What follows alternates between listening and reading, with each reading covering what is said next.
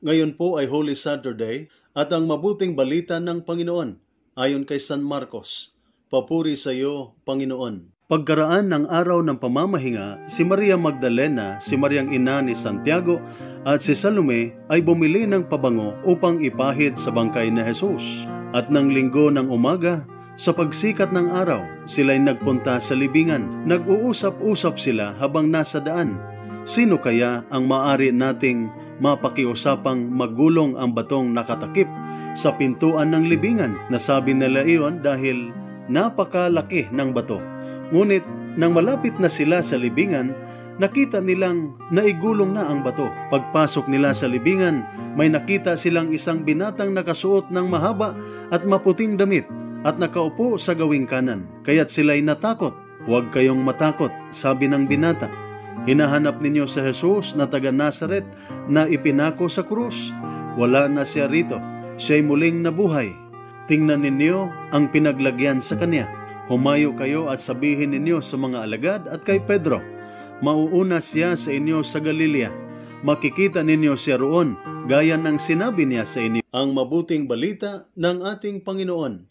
Pinupuri ka namin, Panginoong Heso Kristo. Hanggang saan po ba ang ating pagsunod at katapatan sa ating Panginoon? Sa mabuting balita, si Maria Magdalena, si Maria na ina ni Santiago, at si Salome ay pumunta ng maaga sa libingan na Jesus. Hindi pa po sumagi sa kanilang isipan na muling mabuhay ang ating Panginoon. Nasa kanyang kawalan ng kapangyarihan, mababang kalagayan at pansamantalang kamatayan, mayroon pa ring totoo at tapat na tagasunod ang ating Panginoon. Nakakahanga ang kanilang katapatan, pag-ibig at pagsampalataya sa ating Panginoong Hesus. Talagang hindi po nila pinagtaksilan, iniwanan at tinalikuran sa Hesus. Nananatili ang kanilang katapatan at pagmamahal kahit sa pinaka-lowest moment ng kanyang buhay na pinapakita ni Maria Magdalena, Maria na ina ni Santiago at ni Salome na ang kanilang pagsunod, pag-ibig at pananampalataya kay Jesus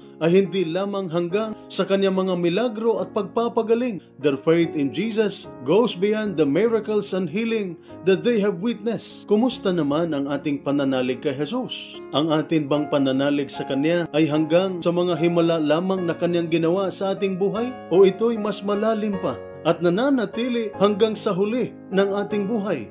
Sa kanyang muling pagkabuhay, pinatunayan ni Jesus na ang ating buhay ay hindi nagtatapos sa kamatayan at ang lahat na sumusunod sa kanya ng tapat ay makakatagpo ng buhay na walang hanggan pagkatapos sa buhay na ito. Lagi lamang tayong umasa kay Jesus kahit sa mga oras na parang walang pag-asa, lagi lamang tayong manalig sa Kanya kahit sa mga panahon na parang siya ay malayo sa atin. Lalo nating ipahayag ang ating pananampalataya kay Jesus na muling nabuhay sa pamamagitan ng ating pamumuhay bilang mga tao ng muling pagkabuhay.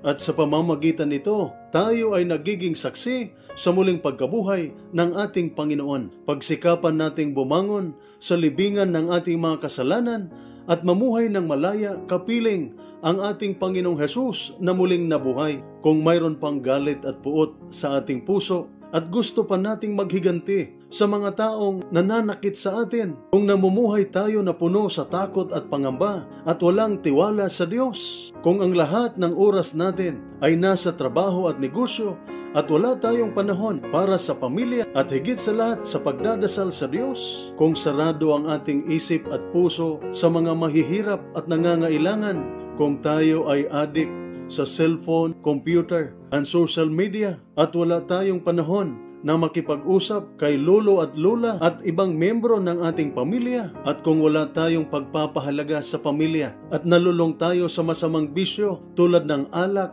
droga, sugal, babae o lalaki, tayo nga ay nakalibing pa at kailangan nating bumangon sa libingan ng ating mga kasalanan at mamuhay bilang mga tao ng muling pagkabuhay. Ngunit kung tayo ay handa nang magpatawad at makipagbati sa kapwa kung mayroon na tayong tiwala sa awa at tulong ng Diyos. Kung naiintindihan na natin na ang buhay ay hindi lamang para sa trabaho at negosyo, kundi para din sa pamilya, kaibigan at higit sa lahat para sa ating Panginoon, kung mayroon na tayong awa at natuto na tayong magbahagi sa ating kapwa at kung naintindihan na natin na ang lolo at lola, nanay at tatay at ang pamilya ay mas mahalaga kaysa gadget, internet at social media, tayo nga ay namuhay bilang mga saksi ng muling pagkabuhay ng ating Panginoon.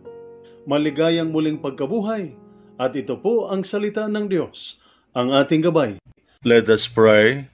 Lord God, Almighty Father, Creator of mankind and author of peace, those who take refuge in you will be glad and forever will shout for joy. Protect our soldiers as they discharge their duties. Protect them with the shield of your strength and keep them safe from all evil and harm. Grant them courage and hope. May they ever experience your firm support, gentle love, and compassionate healing. Be their constant companion and their refuge in every adversity. Be their power and protector, leading them from darkness to light. May the power of your love enable them to return home in safety, that with all those who love and care for them, they may ever rejoice and praise you for your loving care. We ask this through Christ our Lord. Amen. Mary, Queen of Peace, pray for us. Saint Michael the Archangel, pray for us. Saint Ignatius of Loyola, pray for us. At sumainyo at sa inyong pamilya ang pagpapala na makapangyarihang Diyos, Ama, Anak at Espiritu Santo. Amen.